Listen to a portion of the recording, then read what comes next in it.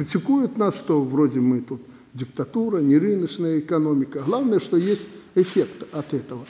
Э, мы готовы поделиться технологиями. Жилищно-коммунальное хозяйство – это и водоочистка, и водоотведение. Тоже мы много занимаемся сейчас этим, от э, канализации до лифтов. Э, если наш опыт вам пригодится, пожалуйста, изучайте, мы готовы подключаться. И